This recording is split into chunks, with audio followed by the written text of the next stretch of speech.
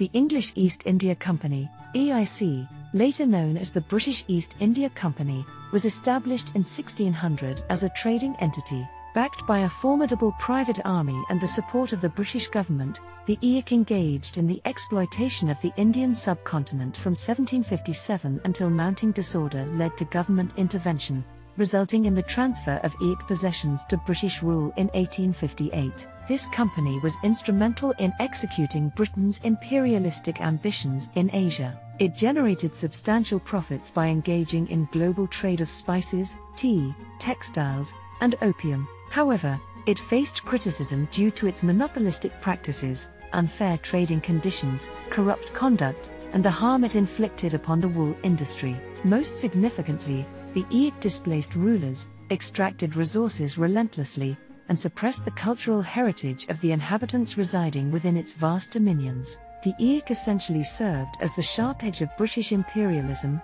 Fort 6. The EIC's directors and shareholders amassed immense wealth, while India grew progressively poorer. Beyond a mere trading enterprise, the EIC transformed into a quasi state, effectively an empire within an empire, accountable solely to its shareholders. The EIC originated through a royal charter granted on December 31, 1600, forming a limited joint stock company led by a group of 215 investors and merchants under the Earl of Cumberland's leadership bestowed by Queen Elizabeth I of England, R.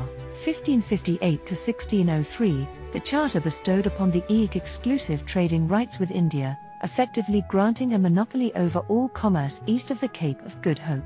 The EIC was even authorized to wage war to conduct its trade, although lacking sovereignty in its areas of operation, the EIC could exert sovereignty on behalf of the English Crown and government. Sir Thomas Roe, 1581 to 1644, dispatched by King James I of England, R. 1603 to 1625, to the Mughal Emperor Jahangir's court, built upon earlier contacts initiated by trader William Hawkins in 1609. Between 1612 and 1619, Roe secured permission for the EIC to establish a trading post or factory in Surat on India's west coast. The British eventually took full control of the port in 1759, though Bombay, Mumbai, became the EIC's primary trading hub after England acquired it from Portugal in 1661. The EIC further expanded its reach by establishing trading posts in locations such as Masulipatam, Madras, Hooghly, and Calcutta. Autonomy was granted to the EIC by Charles II of England, R. 1660 to 1685, to counter Dutch interests in Asia, represented by the Dutch East India Company, VOC. The VOC, founded shortly after the EIC, wielded a powerful naval fleet and had seized valuable Portuguese Empire territories. As the VOC's grip on the spice trade tightened, the EIC's focus shifted to India. Engaging in what was termed the triangular trade, the EIC exchanged precious metals for Indian made products, particularly fine textiles, which were then traded in the East Indies for spices. These spices, notably pepper, were subsequently transported to London, commanding high prices that yielded profits on the initial investment in metals. The EIC also profited immensely from controlling the salt and tea trades, as well as from the sale of opium to China. The extensive importation of tea to Britain led to it becoming more affordable than locally brewed beer, supported by inexpensive sugar imports from Caribbean slave plantations. This facilitated the rise of tea consumption in Britain and its American colonies, ultimately sparking the Boston Tea Party and subsequent revolution. The EIC acquired tea by trading Indian opium, which it smuggled into China, leading to the First Opium War in 1839. The EIC was involved in trading various commodities, including porcelain, silk, saltpeter for gunpowder, indigo, coffee, silver, and wool. The company's well armed ships, known as East Indiamen, played a pivotal role in transporting goods worldwide, armed with around 30 to 36 cannons. The EIC's dominance sparked concerns in Britain over draining its economy of silver and the detrimental impact on the wool trade due to massive imports of Indian textiles. Measures were introduced, such as increased duties on cotton imports and laws favoring wool.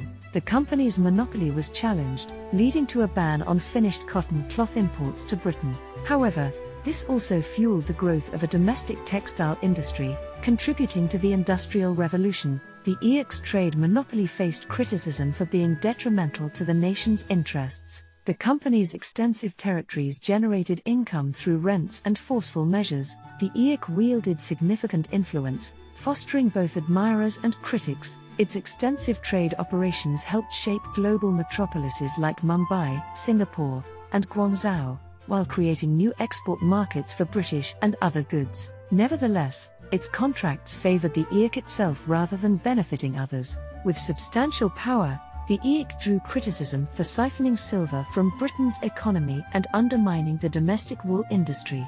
The EIC's colossal influence gave rise to adversaries, yet it generally attracted more criticism than support. The relationship between the British East India Company, EIC, and the Mughal Empire held mutual benefits. British warships provided maritime services and safeguarded the empire's interests at sea. However, the emergence of the Marathas in the 18th century challenged the British Mughal Association as they seized Mughal territories in southern and western India. As of 1757, the EIC assumed control of its own territories, effectively becoming an autonomous entity within a larger state. The EIC made substantial investments in building professional military forces and utilized British Army regular regiments through payment. Its military strength in Bengal surged from 6,680 troops in 1763 to 129,473 in 1823. A significant portion of troops were drawn from the Indian peasantry. This vast army overshadowed the company's civilian workforce, which numbered around 3,500 by 1830. The EIC established fortifications, operated its navy, the Bombay Marine, coined currency, maintained an extensive archive, now held in the British Library, conducted legal proceedings, and operated prisons for those who transgressed against it. The company even sponsored extensive survey missions. To staff its ranks, the EIC implemented entry exams and drew staff exclusively from Britain. The Court of Proprietors, consisting of investors, represented diverse backgrounds including nobles, politicians, military personnel, merchants, professionals, and small investors, forming a wide ranging support base for the EIC. The EX authority extended through periods of both prosperity and decline. External factors such as wars, trade restrictions, corruption, smuggling, and piracy influenced its trajectory. European rivals vied to exploit India's trade and resources, and the French East India Company posed a formidable challenge. While Madras changed hands between British and French control, a second English East India Company emerged in 1698, only to merge with the original in 1709.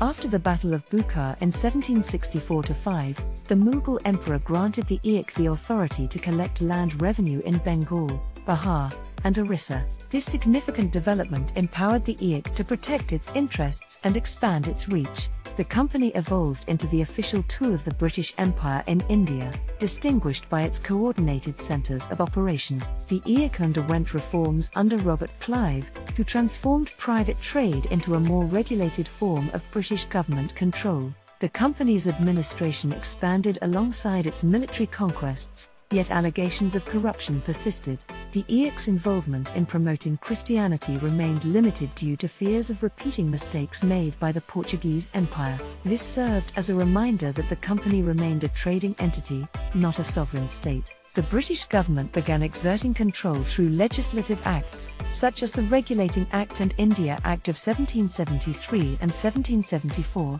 eventually leading to increased oversight, transparency, and the cessation of private trade by EIC officials. The British government's elevated interest in India can be traced to the loss of its North American colonies in 1783. By the early 19th century, around 100 members of parliament in Westminster were EIC employees, reflecting the company's deep political influence in Britain. Key figures like Lord William Bentinck emphasized treaties over military campaigns to drive expansion, accompanied by social reforms. However, these reforms were perceived differently in India, seen as part of Anglicization and Christianization. Subsequent charter acts in 1833 and 1853 diminished the EIC's authority, especially its monopoly on trade with China. Lord Marquis of Dalhousie's tenure saw significant territorial expansion, notably through the Anglo Sikh Wars, but this expansionist policy led to backlash. The collapse of the Mughal Empire and the Sepoy Mutiny in 1857-58 marked the end of the EIC's rule and the formal shift of authority to the British Crown. Despite the initial success of the mutiny, the superior resources of the EIC and the British government ensured its suppression. In 1858, the British Crown assumed full control over EIC territories, marking the beginning of the British Raj. In 1874, Parliament dissolved the EIC, and Queen Victoria's proclamation as Empress of India in 1877 further solidified British rule. British control persisted until India gained independence in 1947. In 1874, Parliament dissolved the EIC, and Queen Victoria's proclamation as Empress of India in 1877 further solidified British rule. British control persisted until India gained independence in 1947.